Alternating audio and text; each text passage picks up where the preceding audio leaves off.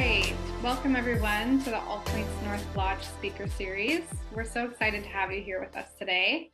My name's Emily, and I'm on the marketing team here at APN Lodge. Thank you so much for joining us. Um, while we're waiting for people to join, I'll tell you a little bit more about us. This is the APN Lodge Speaker Series, which is an initiative that we've started to bring mental health, trauma, and addiction resources to you as an inspiration and awareness. All Points North Lodge is a behavioral health company specializing in addiction treatment, mental health, and trauma therapy. And we have a beautiful campus located in the Rocky Mountains of Edwards, Colorado.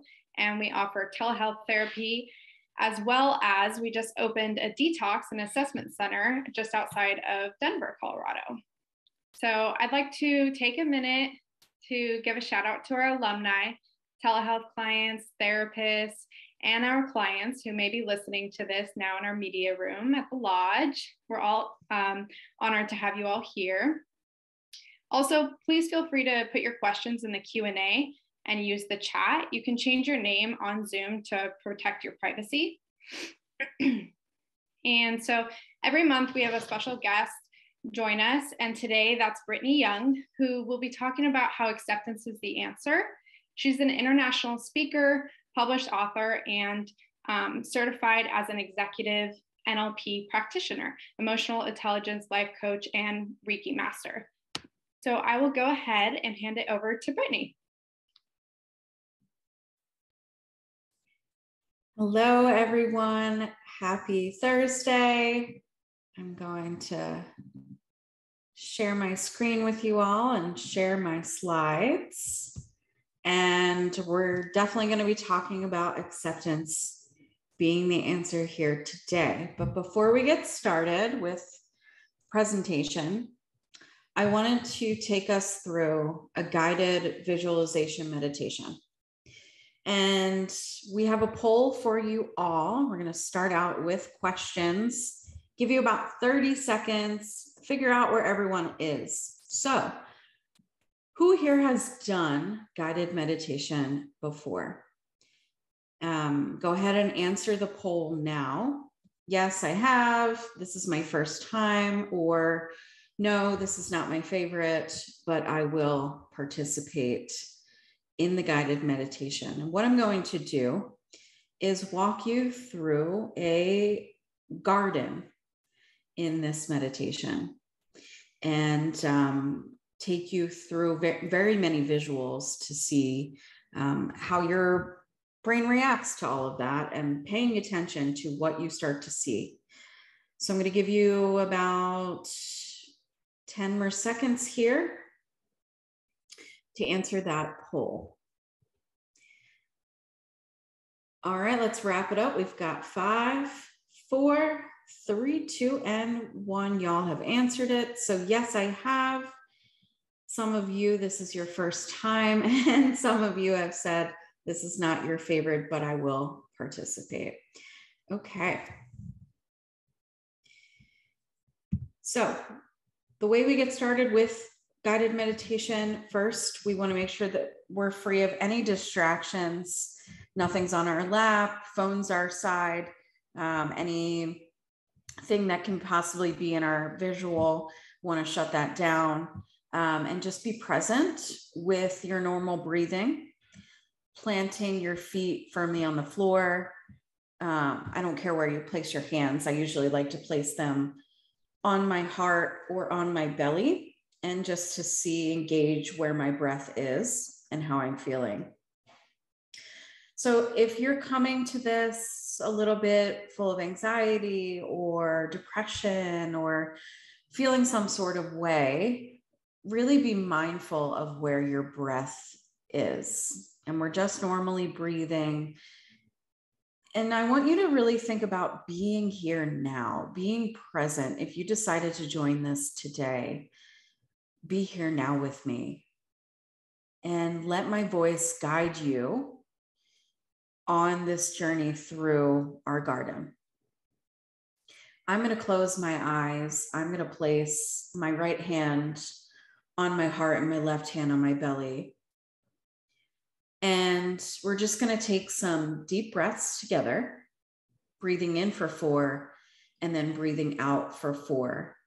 So let's go ahead and start with breathing in.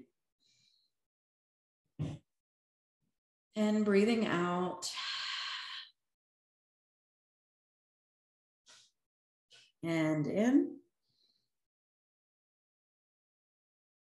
And out.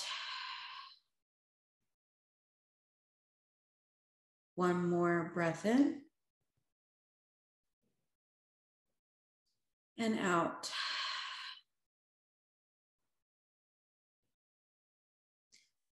Any thoughts, anything that is coming up?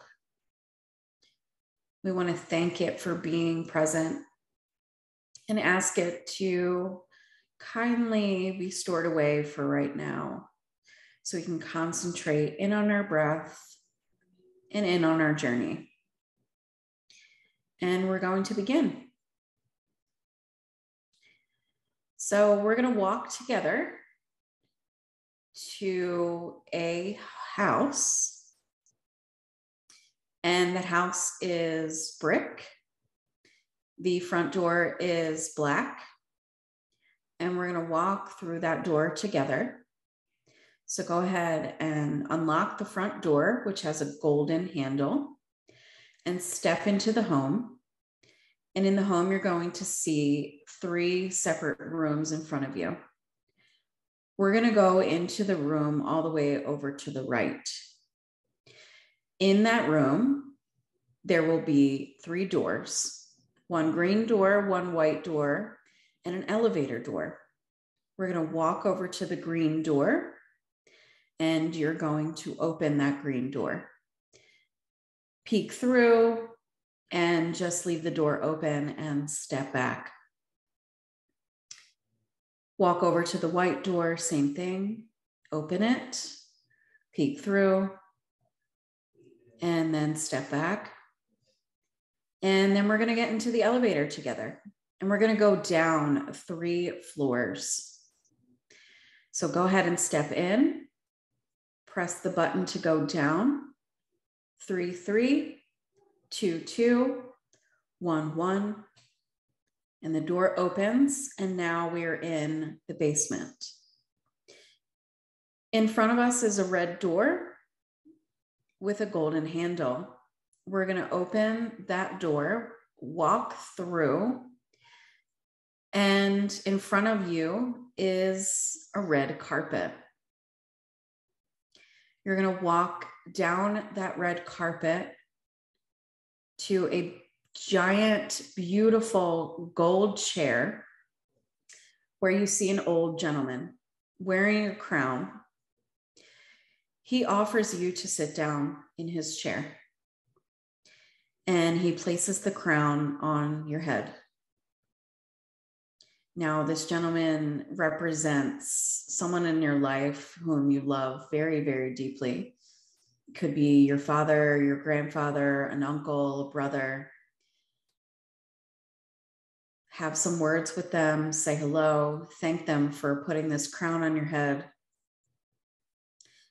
And as this crown is being placed on your head, you start to envision in your mind's eye a secret pathway that leads to a secret garden. So you decide to get on this path and you're walking down this path, looks like a sidewalk, to another door. And as you open this door, it is full of that secret garden.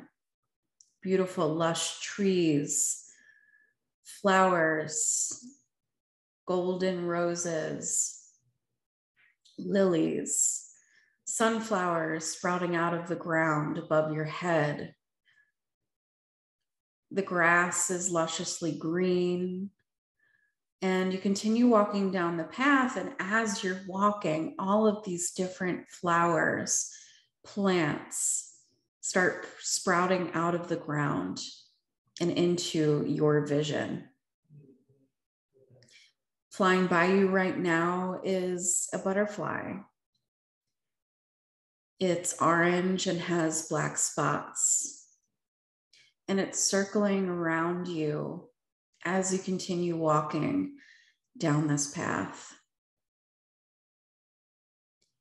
And you find a bench and you decide to sit down on that bench. And on that bench, you invite your higher self into this conversation, into this visualization, and into this garden. And your higher self starts to speak to you and sharing with you some wisdom, some things that they've seen for your future. Let them speak now and visualize what they look like, what they smell like, what they're wearing. And just take a moment and listen.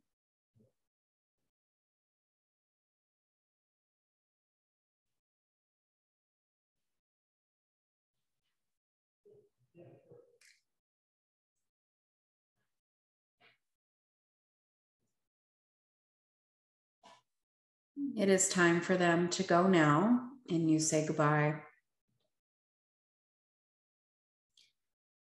And we are going to walk down the path once more. And this time, we're going to go back through the red door. So, as the flowers continue to grow around you, the grass continues to sprout through the the ground. Notice the red door off to the left hand side. I want you to walk towards the door, grab onto the golden handle and walk through,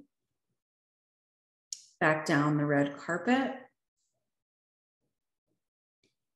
and hand the older gentleman back his crown and give him permission to sit back down into his seat.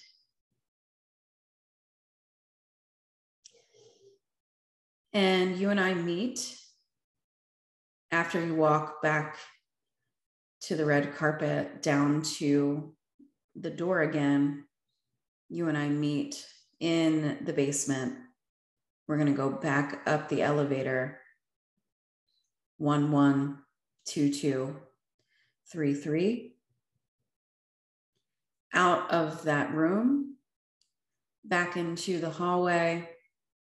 And we're going to walk out the front door and walk out of the house and say goodbye to our garden, bye to the older gentleman, and bye to the home. And you can go ahead and open your eyes.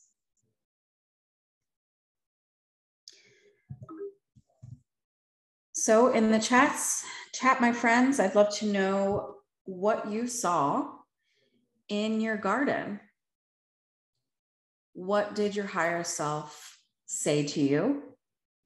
What kind of flowers did you see? Who was that older gentleman? And what did you get out of this guided meditation? Go ahead and type in the chat. I want to make this as interactive as possible so you're not staring at me this whole time and listening to my voice. Um, we're going to make this as interactive as we possibly can. Really vibrant colors, beautiful. I'd love to know what colors you saw. I saw a lot of yellows and orange and gold and, and felt a lot of warmth rush through my body as I was in that garden and sitting next to my higher self. Anyone else? What did you see? What did you feel? Yellow sunflowers with bright green leaves, gorgeous. I love that. Um, one of my favorite flowers are sunflowers and how how beautiful they are when they grow above us. So go ahead and continue typing in the chat. Felt a lot of peace. My higher self was really calm and confident, much more calm and confident than I feel right now. Beautiful. Thank you for sharing that, my friend. And confidence is a big thing that you know we are facing as as a whole and i would say definitely over the last two years um, during this time which we find ourselves in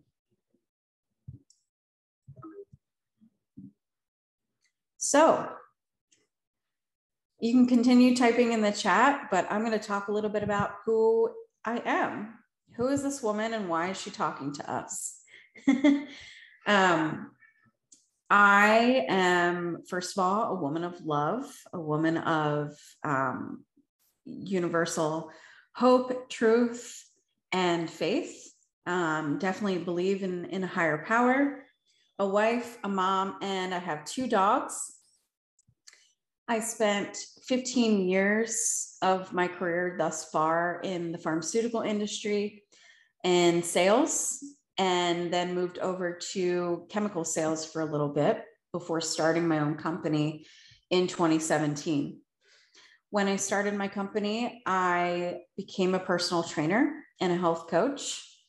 And within a year, that quickly transitioned into doing international speaking and coaching, mentoring businesses and women specifically who are looking to get into business. Um, and this year, I wrote a chapter in a multi authored book and a foreword for a best selling book. So both became bestsellers. Um, and I also received my international emotional intelligence certification as well as NLP training. And I help other professionals, such as myself, and those that are in business for themselves to dominate their own particular industry by mastering their emotions, their emotional intelligence, which helps them create wealth in all areas of their life. And Brian says, Higher self told me to love, value, and honor others wherever they are in their own garden's growth. That, my friends, is fantastic. And thank you for sharing, Brian, about value and honor in others, because we're going to be talking about that a lot in this presentation here tonight. So, just because all these accomplishments, it wasn't always this way. I have not always been this stellar individual that I find um, myself where I'm at now and where I'm going and who I'm becoming. Um, life wasn't always this way. Um, just going back to the chat, lavender, yellow, white flowers, peace and happiness, reconnected with oldest friend. Um, saw a woman who was not as fortunate as I am today and who are gone, but left me empowered to help others and myself. Thank you for sharing that, Lilette. I love that. Thank you so much. So I'm going to share a little bit about my story and um, my overall story and the journey of where I was to where I'm at. And so my story begins in my teens. Um, and if any of you can relate, go ahead and let me know as I'm talking how you relate to this story and what comes up for you as I'm speaking. I, I started my my drinking career at 17. I really wanted to be recognized for someone to see me.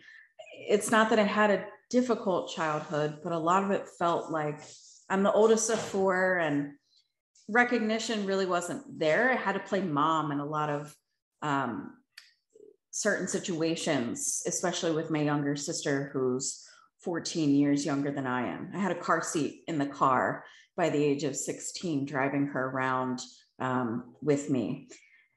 So drinking became an outlet, something that I enjoyed doing. And unfortunately, during my drinking career um, at 17, what really kind of propelled it into where it went was being sexually assaulted by a friend of mine. And the next day after that happened, he called and said, We're not going to speak of this. No one needs to know that this occurred. And I carried that around, a lot of that guilt and that shame for about 14 years of my life until I, I finally told a sponsor of mine that this happened to me. I never shared it with family, I never shared it with friends. And it led me to become an alcoholic by 18. Most alcoholics don't realize that they become an alcoholic within the first six months to a year of drinking. Um, it is scientifically proven that this does occur within us and within our genes and our gene makeup. So I knew I had a problem at 18, but I didn't fully recognize it until I was about 20, 21, and I had turned into a full blown alcoholic. Um, I walked onto my basketball team at uh, the age of 18. I decided, you know, I'm going to go to a, this particular school, I'm going to play ball, and I'm going to get my degree. And um, I decided to walk on to the basketball team. And by 20, I was kicked off the team for not just my drinking, but for my behavior, for the way that I acted around other people and the um, behaviors that were leading me down the wrong path. So I spent most of my college career, um, unfortunately, blacking out and unfortunately dealing with um, a lot of issues where rumors were spread about me. And um, despite all of those stories and odds, I kept going. I was a very high functioning alcoholic. And I graduated in 2009. So recession hit in 2008. So between 2008 and 2009, companies were not hiring. And I found myself lucky to land a job. And because I went to school for pharmaceuticals, I was hired right out of school. And I got a job with the top pharmaceutical company in the world at that time. Now, even though I had this job and I was very fortunate to be one of few people who got hired out of college to pursue a career in this type of environment, my drinking became worse. You know, I was making money. So I figured, well, I can put a lot of my money towards buying a home and doing all these different things, which is great. But I can also party on the weekends. I have that freedom. Um, I moved out uh, after college and and had that opportunity. So as I was working on my MBA, I also did purchase a home at 23, but my drinking became even worse. And I hit my first bottom in those first in those couple of years between 23 and 25. And I was also in a very toxic and abusive relationship during that as well. So by 25, I had come back from vacation actually here in Texas. I was visiting a friend and I came back and the director of my department came to my desk and said, You're done. Um, we need you to pack it up and get out of here by Friday. You have two choices. You can fight this, or you can leave and it can be amicable. And I was very defensive because I didn't know why I was being let go. I thought that they didn't like me, right? So I just thought, well, they're pushing me out. They're going to be hiring somebody else that can do my job possibly better. But really, it was my drinking. And like I mentioned, that toxic relationship. So that toxic relationship um, ended in, unfortunately, a, a physical assault um, by that gentleman. And that led me to stop drinking for three months. So during that three month period, after I was let go, I thought, you know what, I really need to get my life together here. Um, this is not going the way that I anticipated. This doesn't feel good in my body to go down this path. Um, so I, I decided to quit cold turkey. And in doing so, I joined the gym and I thought, I'm, I'm going to get life back together. It's going to be great. And, you know, as I was doing all of this, I landed a new position and I was super pumped about it. And it felt like this was the way, this was where I was going to go. And um, I'm going to be in sales and I'm going to kick ass in sales. And none of that, none of that happened. Um, yes, I had this great job, but after those three months, I started drinking again after a girlfriend called me up to say, let's commiserate over your breakup.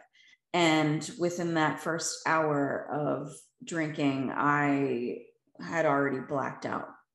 So my second bottom was a two year long struggle with alcohol. And this was the worst of the worst of it all.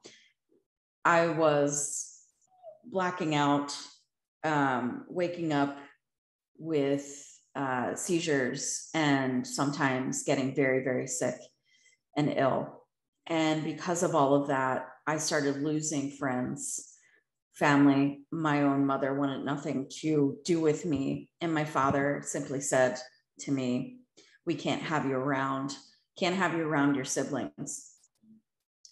During those two years, I spent $30,000 and came very close to losing um, the home that I had purchased. And despite having an $80,000 salary, I was living check to check. Life seemed unmanageable, and it was. And I didn't see it at the time. And friends were trying to stage an intervention. Family was trying to get me into a rehab or at least work with um, the pastor of the church to, to help me out. And quite frankly, I wanted nothing to do with any of it. So during those two years, as I was losing people, I was also losing myself. And in the process of losing myself, I hit a bottom so bad that it literally bounced me back into reality. Um, I went out one night and I only decided, you know what, I'm going to have a glass of wine. That's all. And um, unfortunately, I don't know still to this day what happened, but I woke up and I was in a, a hallway. There was elevator doors, and there were two gentlemen standing there with me. And they said, Do you know who you are? Do you know where you are? And do you know what happened to you? And I couldn't answer any of the questions. I had gotten sick all down the front of my outfit. They had already called EMTs to come and help me and take me to the hospital. I apparently needed my stomach pumped. Um, I believe I was somewhat coherent because they did lead me back to my friends. And I later found out that I was actually drugged at the bar um, and somehow found my way back to an apartment complex that nobody belonged. Uh, nobody lived there. No, no, I didn't know anybody there, but I stumbled into the wrong one so that was really the the bottom of the bottoms. And i remember um, the following weekend when everyone was trying to stage this intervention i declined and i, I got really defensive and i decided to go to the bar of course. And i'm sitting at the bar and um, i'm from philadelphia. And so the eagles were on tv it was mid September, it's preseason, and they weren't that good at the time. so I'm sitting there and I'm like, oh man, I could really use a beer. So I asked the bartender to, to pour me a beer and I rung out my father. And I was serious, yet kind of half joking. And I called him and I said, you know, I, I, I really want help. I really do. I, I, I want help and I want you to help me figure this out because I, I know I can't do this by myself. And it's been a really weird journey. And his exact words to me were, We've exhausted all help. We, we tried to get you into a facility. We called Pastor Joe to help and see how we can get the church involved. You're denying anyone that's trying to give you what you're asking for. My advice to you, Brittany, is to just stop. And I said, How do you do that? How do you just quit? And on the other end of the phone, he screamed, Just stop. And he hung up. And it hit me. I do need to do this for myself, beginning with myself, until I can prove that I can trust myself again. I need to find support and I need to find what's going to help me recover in the best way.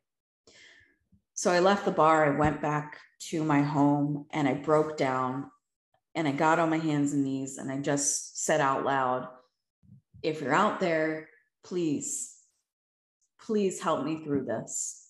I don't know where to go. I don't know where to turn. I don't know what life's going to look like, but I need help and i i some somehow some way decided to pull out my computer and i typed in google um, how to get sober on your own and i came across this story of a gentleman who was a heroin addict and he also performed in the CrossFit games. I forget his name, but he went to the games. He shot up before he got into the race. And if you've ever watched them, it's the most competitive and highly trained athletes that go and compete against one another from all over the world for this title of fittest in the world um, from CrossFit standards. So obviously he didn't do so hot and he came in last place and everybody was talking about him. You know, he should have did better. Why didn't he perform well? All these all these stories kept popping up about him. And I found I was scrolling down, you know, what are there any positive stories about this person? Is he still alive? And I found one and it said CrossFitter gets sober. And I clicked on it. After he had came in last place, he realized that that was his bottom. And his addiction had gotten so bad that he needed heroin in order to even function at the CrossFit Games. So, what he did, which does not get recommended to anyone anywhere, and I'm not recommending this. And by doctor standards, he didn't recommend this when he was talking in this article. He he locked himself at home and detoxed as friends and family came in to pray with him and support him on his journey. And he did it by himself. Um, and then he went to a facility to get treatment and um, medication and all the things that he needed. And while he was at treatment, he decided to start a CrossFit community with those around him. So the light bulb went off in my head. What would it look like if I joined such a community? If I joined a support system that made me feel better about myself and didn't judge me for my past and didn't judge me for my body and, and who I was and, and where I'm coming from. So on September 17th, I signed, signed up for this class and my journey began on September 18th in 2013. And I walked into this gym and it's called CrossFit King of Prussia in King of Prussia, Pennsylvania and there were all these people around in the hallway and they're laughing and they're giggling and it was not serious until i walked in and i must have scared a lot of people because i looked like a ghost and they're looking at me going like oh god who's this? Is she coming off the street? And i said to them hi i have a session this evening. My name is brittany.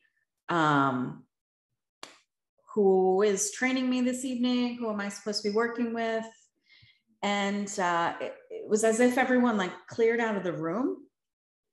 And there was this gentleman sitting at the desk.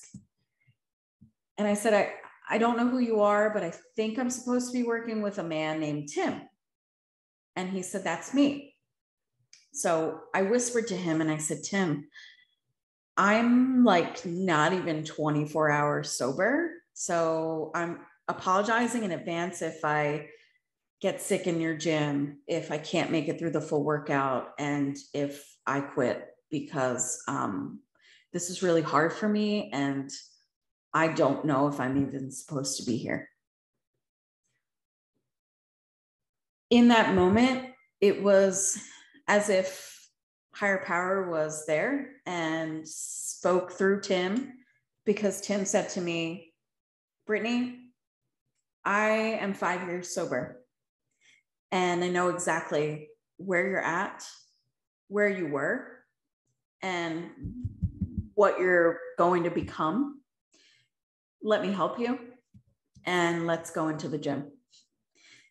So life really began right then and there in that moment. And I spent two and a half years going to this gym, reinventing myself, building back my self esteem, building back my body. Um, I had put on about 50 plus pounds during my 10 year drinking career. And life didn't look the same in that moment as it had for 10 years. So I still had the same job and I was feeling really good about myself, but I knew I needed a change. And got talking with some people at the gym one day and they said, Well, what if it looked like if you relocated and you move somewhere? How does that feel? And I thought, you know what? That feels really good to me to have a fresh start, to get out of Pennsylvania and, and to move into a different place. So I started doing research. Where are people moving? You know, I, I loved um, I love doing research on, on different things. And so, where did I want to go? Um, Austin, Texas looked like some some cool place to be and have music and all these different things.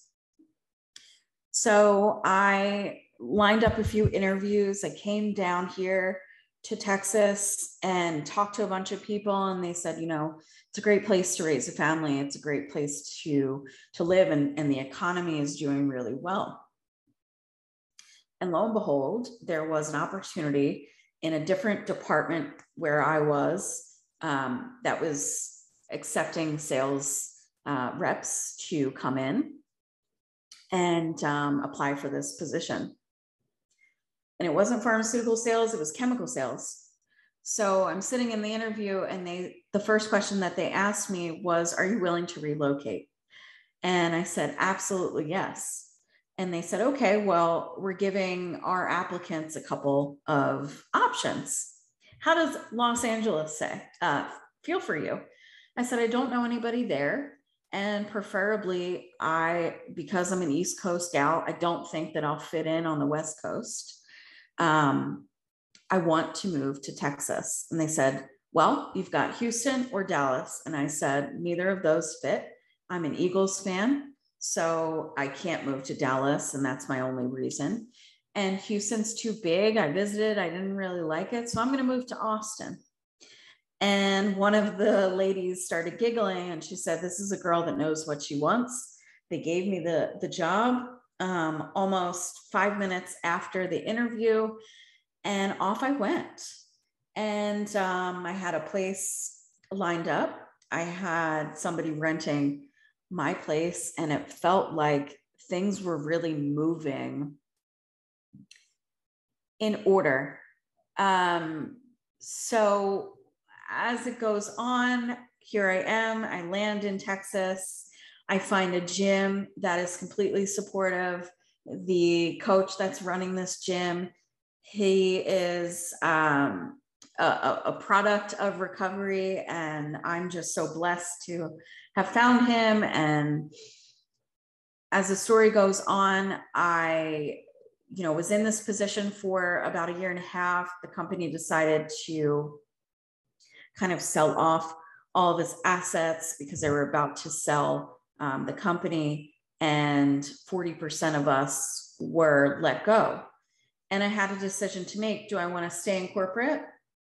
And because i'm in sales it, it can be pretty lucrative but also pretty toxic. You never know. Usually you're the first to go. And so that week that they called me to say we're shutting down the company and we're selling everything off, um, I had a job offer lined up, but something inside of me said, do it your way, go and figure it out. So here I am. Um, my story is still continuing. And I've been sober for eight years now, since September of this year. And where I find myself after becoming a personal trainer and evolving it into speaking and coaching and writing, I am what I call an emotional business coach. And I also speak and teach about this whole thing called the permission process. And at the end of the permission process, it's all about accepting who you are and the acceptance as the answer my main focal points for my life today are my faith, um, being a wife, and being a mother. And where I find most enjoyable and fun, especially during the pandemic, has been yoga, meditation, and journaling. And these are some of the things that I like to help my clients with to figure out when you're going through such an emotional time and emotional space, what are some of those modalities that feel really good to your body, feel really nurturing to your soul, and keep your mind at ease?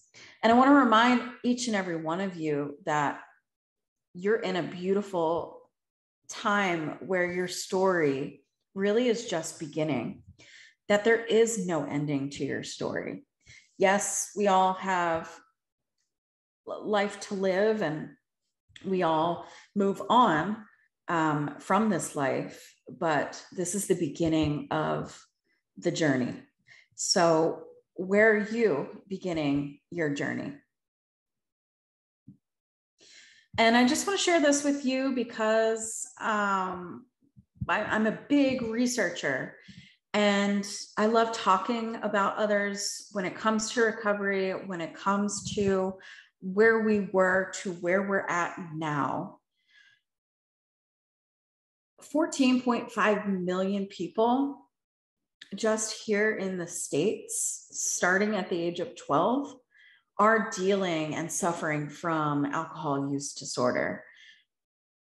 I, being one of those people, um, was fortunate enough to recover.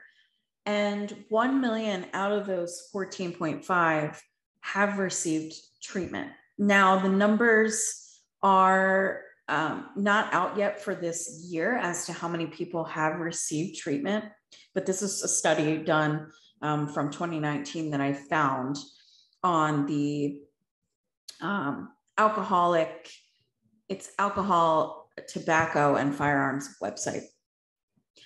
Alcohol contributes to about 18.5 of, um, that should say ER visits, and 22.1% of overdose deaths are related to opioids, just to compare that to how many people are passing away from alcohol.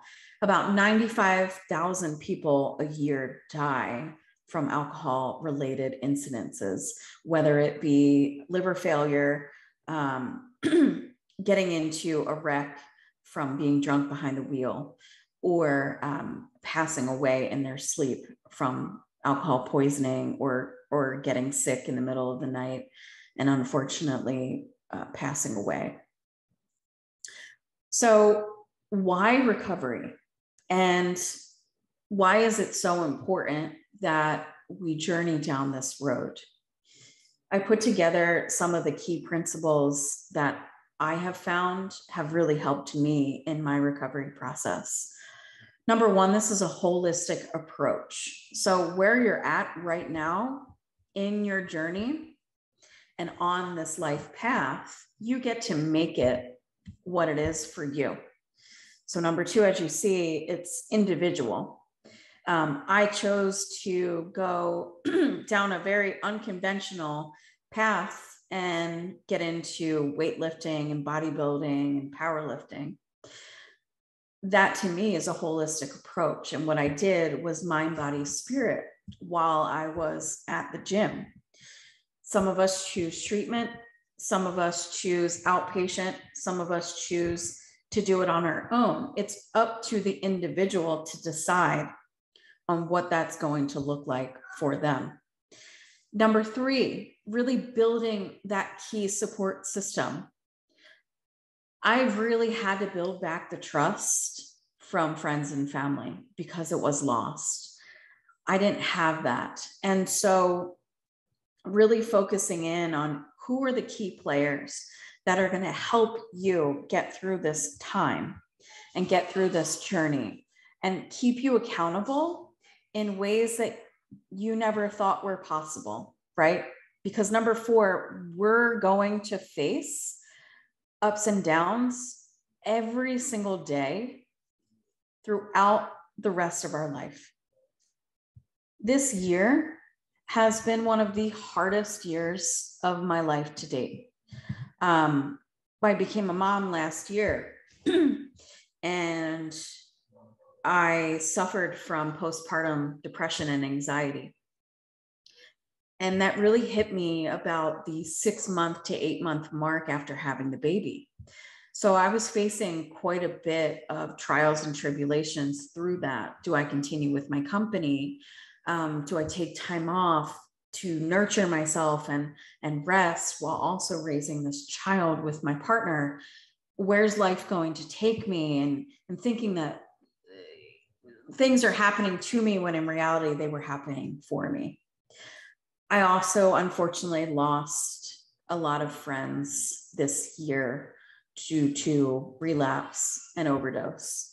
Um, that hit me super hard and tested my own recovery. So we're going to face a lot of those downs and then the ups, facing success um, some people see success as almost being a detriment to life. So, where's the balance of it all? And then that last piece of recovery has been addressing past and addressing trauma. As I mentioned in the beginning, I faced a sexual assault and I did not look at it honestly until 2017. It scared me to death to look at it. And it happened, you know, 14 years prior. Um, I didn't know the emotions that were going to come with it. I didn't know what was going to come about if I was going to have to um, do something about it. So, really addressing it in therapy, addressing it with my family, talking about it, being open and honest with where I was and and the situation that occurred, and um, other assaults that I have been through in in relationships or other sexual assaults that I suffered throughout my drinking. And then the last thing that I wanted to share with you all is the actual permission process that I walk my clients through. Because when we start to learn acceptance, being the answer to, to all of who we are, we're giving ourselves a chance to dig deeper into really what we're made of that resilience, that makeup. I'm a big, big advocate for men and women speaking their truth being as completely vulnerable and raw as they possibly can, because I think by us sharing who we truly are, we see ourselves in a different way. And it continues to allow us to grow every single day. So, the permission process, um, I'm going to walk y'all through this. And if you have um, pen and paper, or if you want to type in the chat as we go, I wanted to make this an interactive um, type of exercise that we can do together. So, give you a couple minutes if you want to grab a notebook and if you just want to go with me here um, through the process. And what I will say to you is this is not complicated. And the way that I work through this with my clients is really on an emotional um, level. So when we think about intention, um, if you have ever read any books around law of attraction or manifestation, similar, but intention is really about direct, um, telling God, source, higher power, uh, what is it that I truly want and need at this point in time? So I'm going to go with you through this. Let's say uh, you need a new car and you're going to set the intention that by January 30th, you are going to the Hyundai dealership and you're going to pick out a car. And that car is going to be a 2021 model it's going to be silver. The interior is going to be gray. Um, it's a three seater, three rows um, with plenty of cargo space in the back because you love to hike and you love to take your dogs with you when you go hiking. So we set the intention that we are purchasing a new vehicle and we're going to do this by January 30th. All right. So the second part is desire. And the way I look desire at is the word want. The word want in the dictionary, it, it you know, you can look up the definition, but the way I view want is something that I'm never going to have. So I really have trained my brain to believe that desires matter more because desires are something that I can actually go after. Whereas a want is something that I may never get, right? I, I want a Ferrari, but I may never actually get a Ferrari. Now I desire to have that Ferrari and I can picture myself in that, right? Driving it around. It's cool. Um, I'm a fast driver, so unfortunately I'd probably get pulled over, but I desire that Ferrari sitting in my driveway and hopping in it just to go to the grocery store. So, what is your intention? And the desire behind that it, it is the the the one, right? The the what do I need out of that intention? The third thing is making the decision. So we go from asking to believing that we can have what we're asking for to then making the decision decision solidly within. Yes i truly desire this thing and i'm going to get it or this is going to be really difficult and i need to do some processing emotionally around it right? And what tends to happen is throughout this process we hit a wall. And a lot of men and women, when they hit that wall, all these emotions start flooding. Oh, I, I, you know, I really, I really did try to get that Ferrari or that Hyundai and, and by this date and it didn't work. And I'm really disappointed in myself. So we kind of go backtrack and we see, well, what's that disappointment really about? Where did it start in the body? and where's it taking you? So if you get onto that lot and you didn't see what you desired, are you just giving up or are you really starting the process of actually, what I asked for is still being built. And why it's a forgiveness process at step number four is because that disappointment or that resentment or that anger that comes up, we start to see it come into our body and then we start to see it outward, right? Often we're a reflection of what we see. So that's why a mirror is so cool because what others are seeing is what you're seeing as well. So if you start to see yourself as beautiful, intelligent, and powerful, that is reflected outward, and other people start to see that also.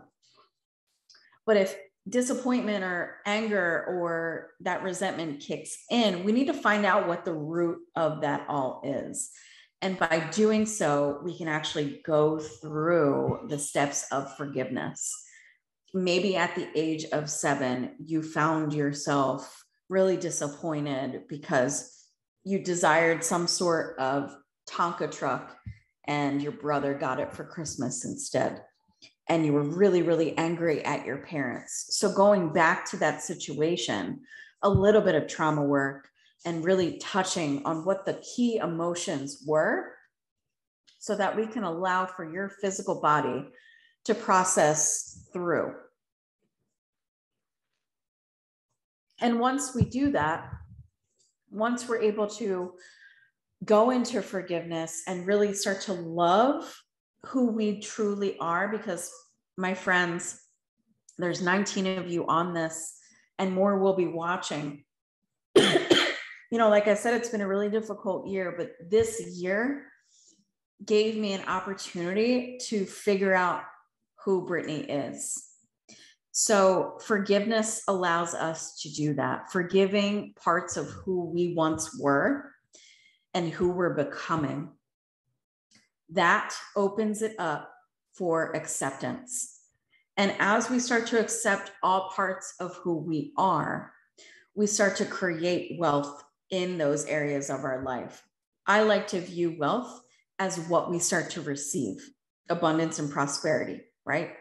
I asked God, source, universe for the best possible husband that the universe could send me and the most amazing child in that relationship.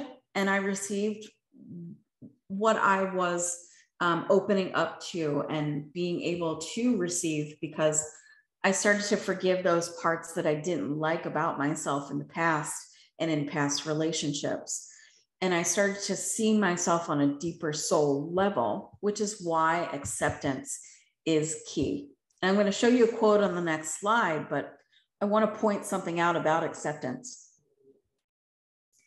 My friends, it is pivotal that in the acceptance process to let go of control. I have a sticky here, and I'm going to share it with you.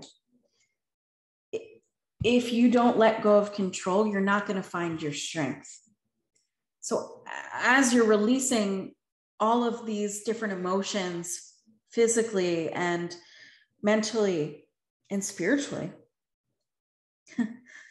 you start to let go of things that don't matter anymore. But what really matters is who you are at that deep level.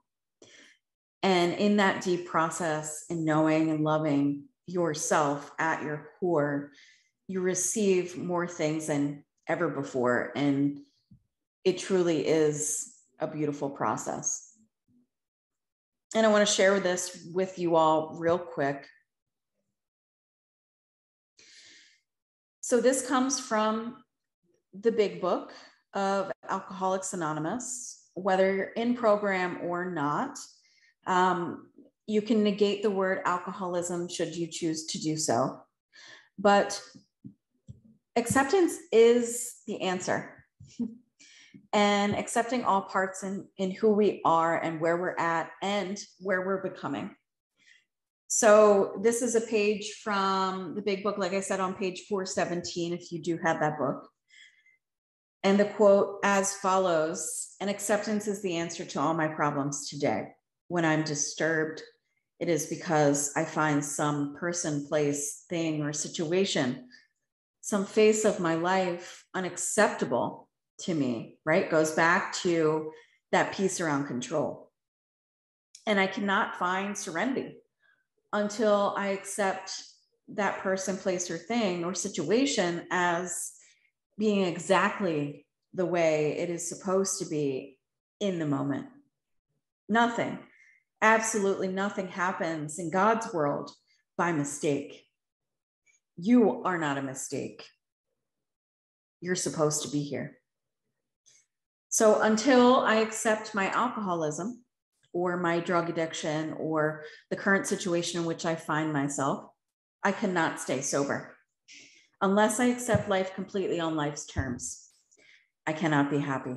I need to concentrate not so much on the external and what needs to be changed in the world as what needs to be changed in me and my attitudes.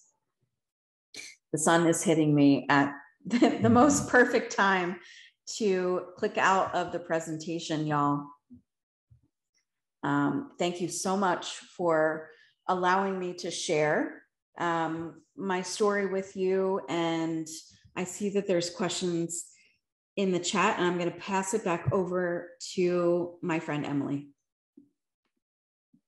Hey, Brittany, thank you so much for presenting for us today and sharing your experience and your business. It's all super amazing, and we're super grateful for you being a part of our speaker series today. Um, so let's dive into the questions. Let's see here. So we have a question uh, from Jess, and it says, it sounds like your CrossFit family became a huge support system, especially in the absence of family support. Do you have any other recommendations of where people can turn to for support?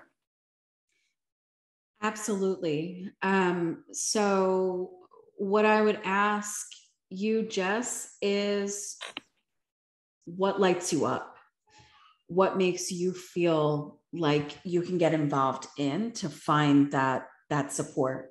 So, recommendations if you are um, on Facebook or you're on um, any sort of social platforms to start joining groups, get involved. Um, I know creating friends online for us adults has been really interesting. I know for me, it's been very, very interesting over the last couple of years of navigating like, well, who do I want to be friends with? And where do I find these people? Um, striking up conversations with random strangers has been one of the most profound things um, and beautiful things that I've I've found.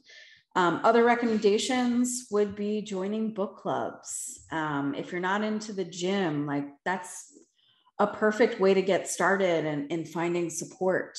If you're reading the same thing, it feels really not only intellectually beneficial, but you're learning about other people and um, getting to know them on a deeper level. And books do that. Intelligence does that for us.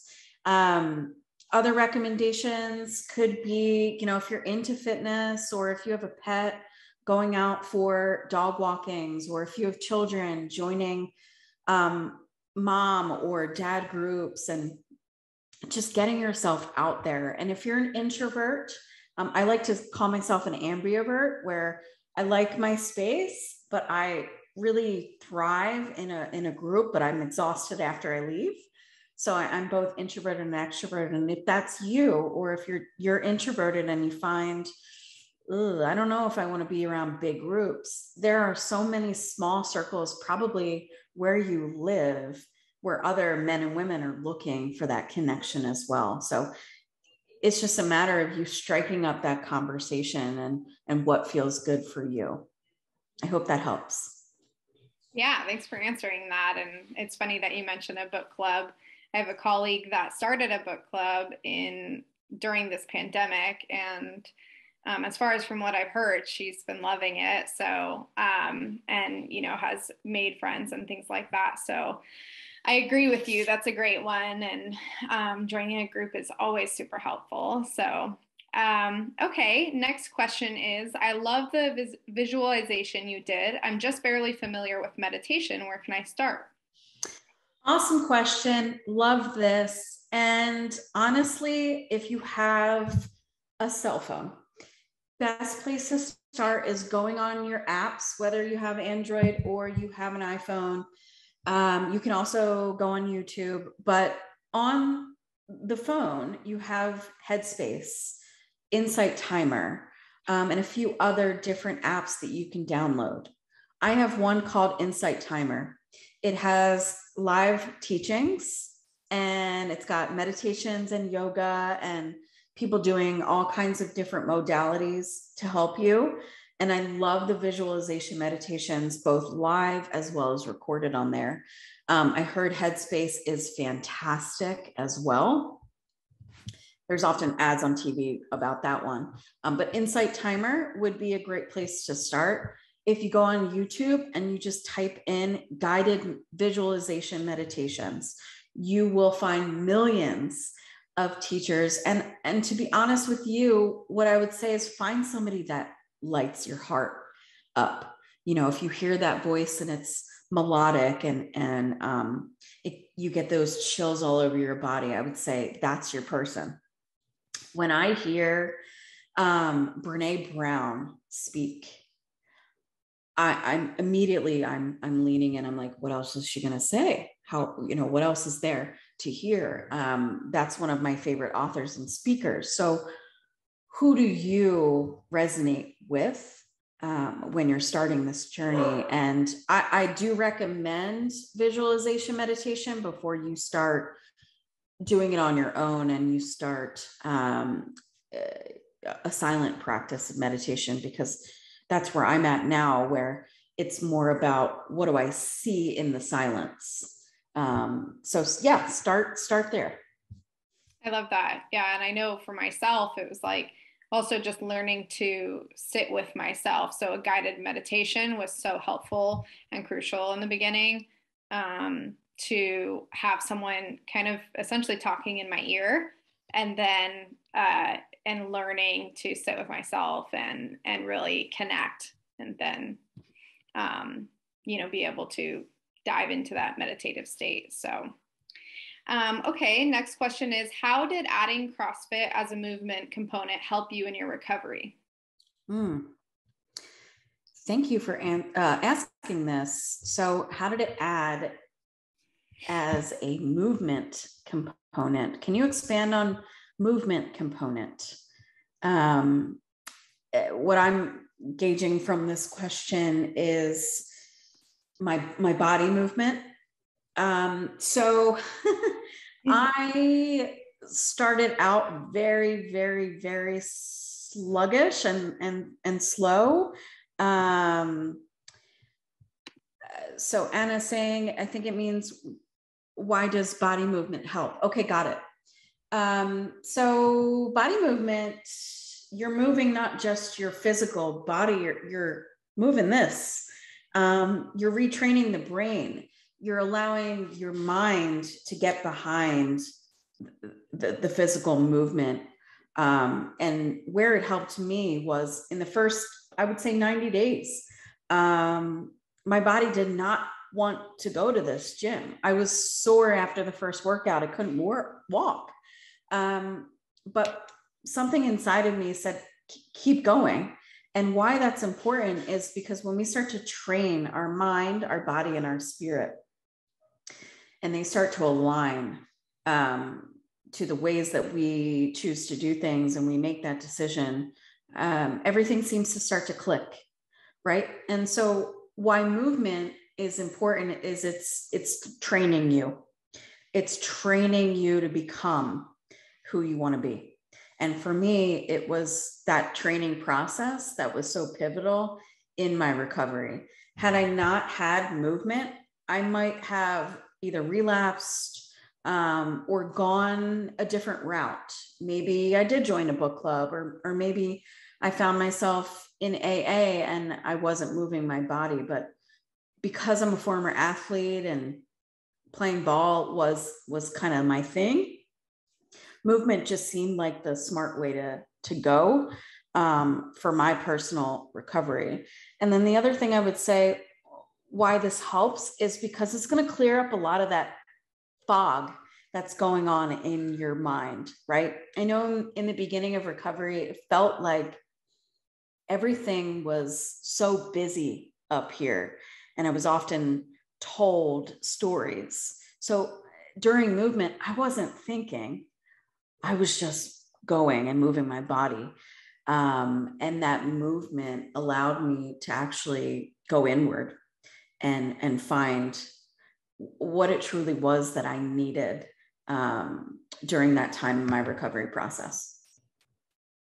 It's funny. I, I relate to you so much. Um, and um, I relate to that, like, you know, burning off that steam, unplugging, getting your body moving, getting those endorphins going. And ultimately, if you're feeling better from the inside out, you're going to, you know, feel your best. I, I think personally. Um, so yeah. Okay. Um, lastly, we have you are so confident. I feel like I lack emotional resilience since I'm really struggling. How do I get into the permission process if I don't feel confident about it yet? Well, the first thing I would say is um, confidence takes practice. And you know that old saying, fake it till you make it? Um, one of the, the things that I did was I would look at myself in the mirror every single day. And I just uh, at first would say hi, you know, hi. Looking at myself was hard enough. Um, so just saying hi for, for like the first 30 days. And then I would catch myself in the mirror and I'd say, Oh, you look good today. And I'd like sprint out of the room. Because it was scary. Um, it was super scary to do that. And now when I look in the mirror, I tell myself, I love myself and I look great today, and your hair looks fantastic. And I have all these sticky notes on my mirror that say, like, I love your smile, I love your curves. I have my own paparazzi on my bathroom mirror. And so, what I would say in order to get started in the process is feeding yourself those those good words. Taking the the honey and allowing that honey to to take over your body. Um, when you get sick my aunt used to just shove that honey in in my mouth and be like you're cured. Everything's great. You don't have your cough anymore. Um, which probably wasn't the best um, but you know when when it start when you start to learn how to build confidence you start with the words. So i would say not so much words of affirmation. Um, that's a whole nother topic i could talk on and how that doesn't actually work. But get yourself some of these stickies and um, start writing words. You know what word lights you up and if it's confidence, if it's happiness, if it's excitement, what brings you the most joy? So when you start in the process, um, start with the words. And then when it comes to setting an intention, allowing those words to take you somewhere else, out of here. I feel like in, in recovery, early recovery, even now, eight years into this, sometimes we're here right? Emily, I'm sure you can relate to yeah. this. Anna can probably relate to this. And those of you watching, we're here. So, how do we drop from here to here into this big old missing piece? Is we feed ourselves that medicine. So, feed yourself the words, feed yourself that love because you deserve it. Um, I didn't get here without practice. Um, you got to practice. Practice makes not perfect. We don't want to go there, but it makes us better people and, and better moms and fathers and sisters and brothers and, and better people in this world. And that's what we need. You're so right. And um, I like what you said about, you know, practice makes us better, right? Um, perfect is a really high standard to try and live up to, uh, but better is super encouraging, I think.